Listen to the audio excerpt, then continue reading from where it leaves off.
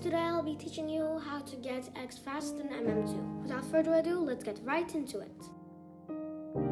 Tip number one grind in small servers. Going into small servers is a very important tip while grinding. Here is how to do it. First, go to Murder Mystery 2. Click on Servers.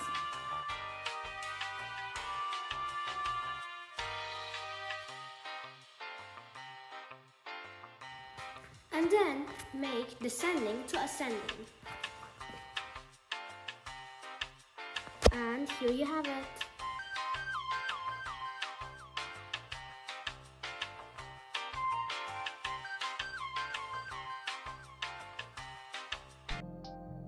Moving on to the next tip. Tip number two, vote for big maps.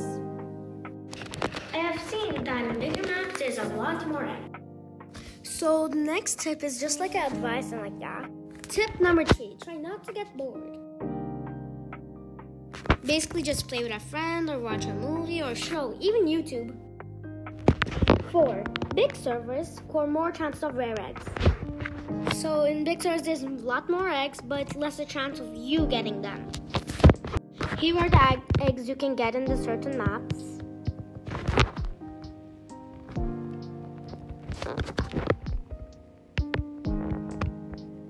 Tip number five: vote with maps with the theme of an egg.